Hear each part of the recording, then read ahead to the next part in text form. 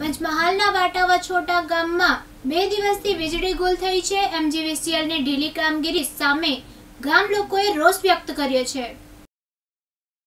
પંચમહાલના વાંટવ છોટા ગામમાં બે દિવસથી વીજળી ગુલ થઈ છે. શહેરમાં વાવાઝોડા અને વરસાદના કારણે અનેક ગામોમાં અંધારપટ છવાયો છે. ગ્રામજનો દ્વારા વીજ કચેરી ખાતે રજૂઆત કરવા છતાં લાઇટો ગુલ છે. બે દિવસથી ગામમાં અંધારપટ હોવાથી મોબાઈલ ચાર્જ કરવા શહેર જવાની નોબત આવી છે. એમજીવીસીએલની ઢીલી કામગીરીને સામે ગામ લોકોમાં રોષ ભરાયા છે. દિવસથી લાઇટ નથી. અમારે ગમે તે અત્યારે કામ હોય. લાઇટ ચાર્જર મોબાઈલ કરે તો લાઇટ ના હોવાથી બહાર જવું પડે. અને અત્યારે ખાવા પીવાનો રોજ નિરંતર બેસી જવું પડે. અને રાતના જન જનાવરથી અમારે ડર લાગે. એટલે બૈરા છોરો બહુ ત્રાસી જાય, ગયા છે.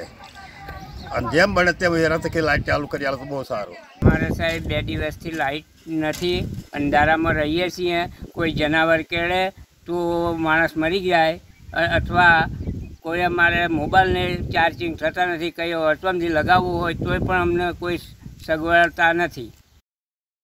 પ્રિતેશ દરજી દિવ્યાંગ ન્યૂઝ પંચમહાલ.